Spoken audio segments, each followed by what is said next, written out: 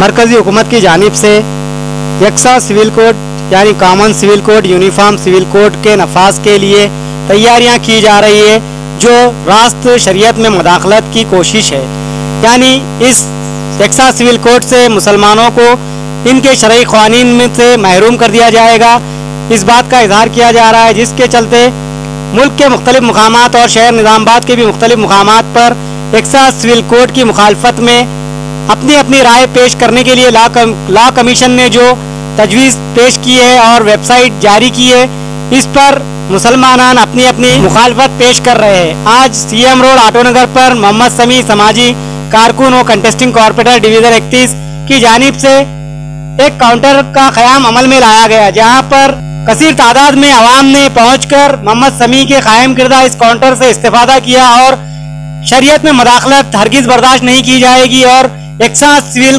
Code हरगिज मंजूर नहीं है इस बात का इजहार किया। कॉमन सिविल कोड के नुकसान से यहाँ पर आवाम को वाकिफ भी करवाया गया और इसके नुकसान और आने वाले दिनों में मसाइल से वाकिफ करवाते हुए अपनी अपनी तजवीज लॉ कमीशन को हर साल की गई। आप खुद भी अपने फ़ोन पर एक लिंक के ज़रिए लॉ कमीशन की साइट पर जाकर मुखालफत दर्ज करवा सकते हैं या फिर इस तरह, इसी तरह के जहाँ भी काउंटर कायम किए गए हैं, वहाँ पहुँच भी सिर्फ़ अपना नाम, पता और सेल नंबर लिखाकर अपनी मुखालिफत दर्ज करवा सकते हैं। बरकत हो जैसा कि आप सभी जानते हैं, आज हिंदुस्तान की मरकजी हुकूमत जो यूनिफॉर्म सिविल कोड कानून नाफिज करना चाहती है, हम उसके खिलाफ हैं। और हमारे डिवीज़न के छठी डिवीज़न आटोनगर के नौजवानों की जानब से हम हम सब ये शौरबेदारी प्रोग्राम लगाया है। इसमें नौजवान और महिला के सारे आवाम अपना अपना मोबाइल नंबर लेके स्मार्ट मोबाइल की शिकायत कर सकते हैं और कल रात शहर निजामाबाद के गोदन रोड भवानी होटल के मुकाबले एक दिल खराज सड़क हादसा पेश आया। जिसमें आटोनगर से ताल्लुक रखने वाला सोहेल नामी नौजवान बरसरे मौका ही फौत हो गया और इसके साथ मौजूद दो नौजवान